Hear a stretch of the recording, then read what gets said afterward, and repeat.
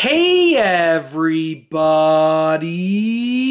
I'm here today to show you how to use a typewriter. This will be a full tutorial, so let's get right into the video. I'll be going over the typewriter basics and showing you the basic steps for using it to type things, okay? You can really get advanced with typewriter functions, but I'm gonna just be going over the basics. So let's get right into the video.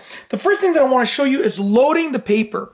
Now there's gonna be a roller right here, and we're gonna be sliding the paper in behind it, and then rolling it through to the front. So I'm gonna try and set my camera up so you can sort of see everything that I'm doing. I'm taking the paper, I'm replacing the paper behind it like that. Try and get it nice and centered where you want it to be. Okay, then I'm gonna roll it through just like that. So as you can see, I'm rolling it through. The paper comes out in front and we're good to go. Okay, so now we are ready to type because we have the paper right there, but we can actually adjust the margins. Now your margins are similar to a, a modern word processor where it's gonna show you where the page sort of starts typing and, and ends, okay?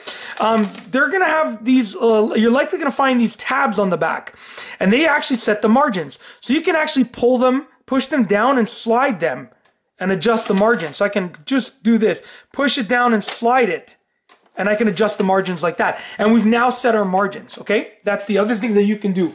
Next up, um, obviously you can select your ribbon selector. So on here, um, you can see right here we have these three colors. So what we have here is uh, the black ribbon, we have the stencil in the middle, and then the red ribbon. And watch what happens as I'm going between them. You can see we're adjusting the ribbon. Check it out.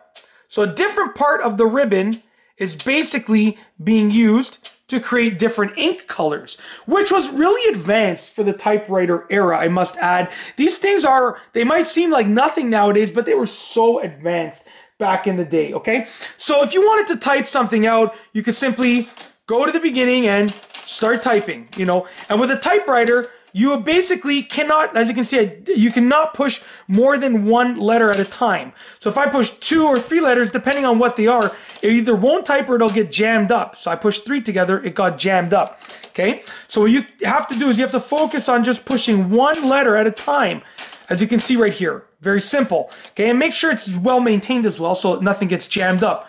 But it, that's how you type out letters like that, as you can see. Very simple, okay?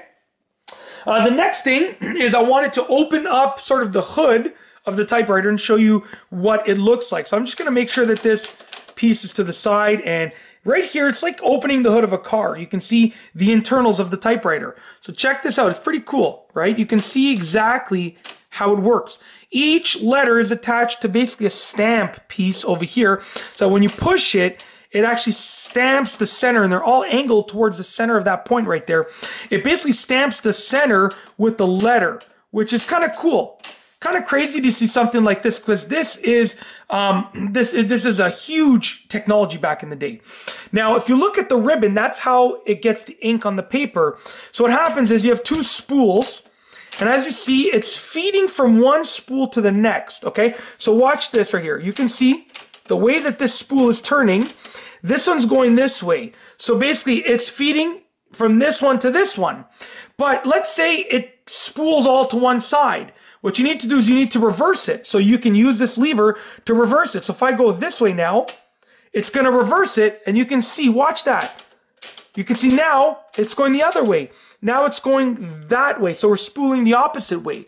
Um, and then if you once that is gone the other way completely, you can go back, right? So you can use this to reverse the spool direction.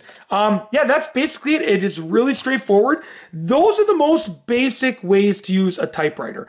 There are more in-depth ways, and if you want to see another tutorial on the more in-depth ways, then let me know when I can make it happen. That's it.